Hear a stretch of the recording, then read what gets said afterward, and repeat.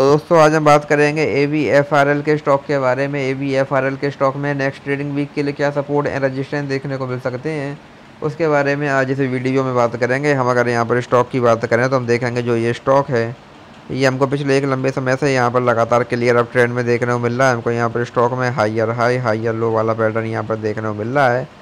हमको यहाँ पर स्टॉक में बीच बीच में यहाँ पर गिरावट भी देखने को मिली, लेकिन यहाँ पर स्टॉक ने कभी भी अपने प्रीवियस लो को यहाँ ब्रेक नहीं किया और हमको स्टॉक में लगातार यहाँ पर तेज़ी ही देखने को मिली है। आज भी हमको स्टॉक में 1.65 परसेंट की यहाँ पर तेज़ी देखने को मिली है।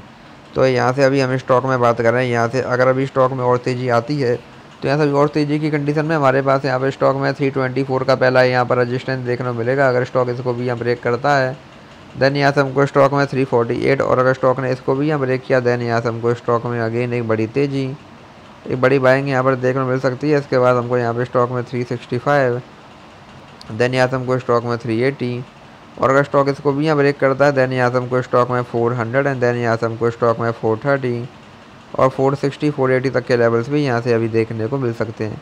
वही यहाँ से, अब अगर स्टॉक में गिरावट आती है तो यहाँ से अब गिरावट की कंडीशन में हमारे पास यहाँ पर स्टॉक में थ्री हंड्रेड टेन का पहला यहाँ पर सपोर्ट देखने को मिलेगा। अगर स्टॉक इसको भी यहाँ ब्रेक करता है देन यहाँ से हमको स्टॉक में 295 और 274 तक के लेवल्स भी यहाँ से अभी देखने को मिल सकते हैं ऐसे नेक्स्ट यहाँ पर सपोर्ट तो स्टॉक में कुछ इंपॉर्टेंट लेवल्स हैं, आप इन पर ध्यान दे सकते हैं। बाकी वीडियो में कोई बाय सेल होल्डिंग सलाह नहीं है।